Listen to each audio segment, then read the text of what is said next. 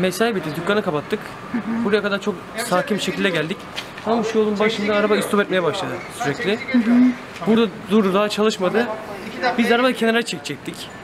Tesadüf kaputu açtık, baktık alev alıyor. Yani bir anda tesadüf gördük. Yoksa biz ateşin farkına varmadık. Bırakıp gidecektik arabayı. Sağ olsun yangın tüpü sağ olsun diğer esnaf arkadaşlar yardımcı oldular. Yangın tüpleri söndürdük. İtfaiye de geldi. Fazla da bir hasar yok. Sıkıntı tüplü araba yani patlasa Allah göstermez sağa sola bir sıkıntı çıkartabilirdi.